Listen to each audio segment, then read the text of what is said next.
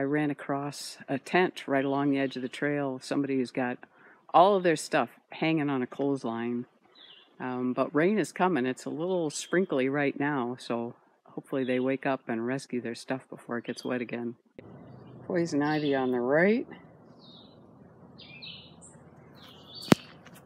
Poison ivy on the left. I mean, it's a miracle I haven't gotten poison ivy already.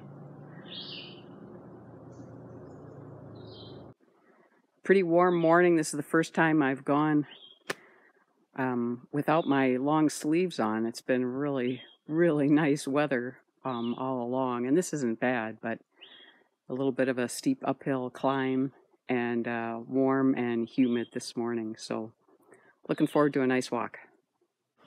Well, these tracks are kind of curious. At first, when I saw them, I assumed they were dog tracks, but I don't see any claw marks. And they're relatively big. Those white stripes on my trekking pole are um, an inch apart. Just survived the longest gauntlet of poison ivy ever. I think I made it through unscathed. It doesn't look like I'll be getting much views today. There are mountains out there. Having a little lunch break here at a little overlook of more hidden mountains. I just noticed that both the cheese and the sausage that I'm eating that I purchased at the outfitter there in Neel Gap, they're both from Wisconsin. Night before last, when I was camping at Jared Park, I woke up to somebody snorting at me. Somebody got wind of me and gave a big snort, and then maybe an hour later, I heard it snort again in the same general direction. And I thought initially it was a deer, but the snort was quite different from the snorts I'm used to. So now I don't know is that just a southern uh, whitetail snort versus a northern whitetail snort? I mean, in Wisconsin and Michigan, when you hear a deer snort, it's like all air, like, and this was more uh, like vibration of nasal passages or lips or something, you know, more it sounded almost like someone blowing their nose.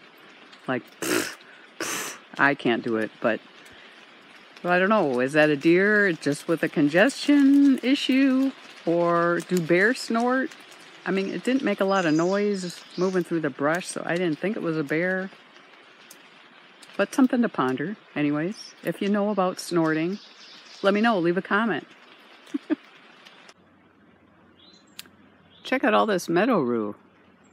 It's got these tall shoots go straight up into the air. Some of them have uh, what look like old blooms. But I mean, we're talking seven, eight feet tall in some cases, all along the trail. I had no idea Meadow Rue got that tall. I don't know if I've seen it over three feet back home.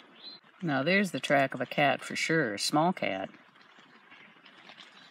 Of course, you never know. Maybe some hikers hiking on the trail with their house cat.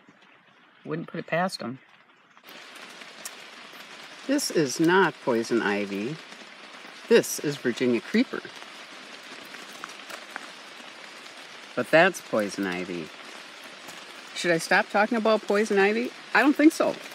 Maybe an hour ago, I ran into two guys coming out of the woods, and one of the guys had uh, one of those long, two handled hand saws, you know, like a four foot long thing this is their handiwork. It's worth it to carry in a two handled saw rather than trudge this far with a chainsaw. But I have to say, trail maintenance the whole way has been amazing. I think I've had to cross or go around one deadfall. Look at that. I don't really know my snakes that well. That might be a worm snake. This is what it looks like. View from my sleeping bag underneath the tarp. There's my feet down there. Nice location.